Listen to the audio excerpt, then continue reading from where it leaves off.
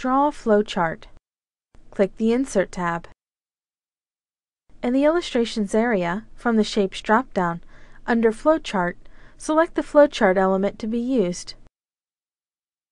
Click and drag into the slide to create the shape.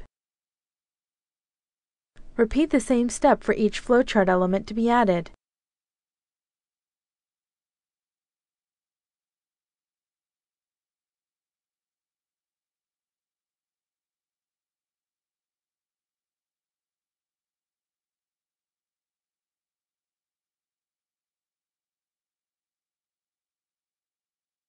To add a connector, from the Shapes drop-down, under Lines, select the connector line to be used.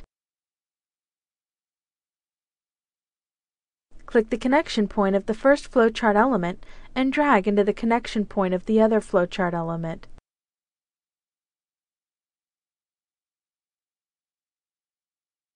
To add text to the element, select the element and enter the text.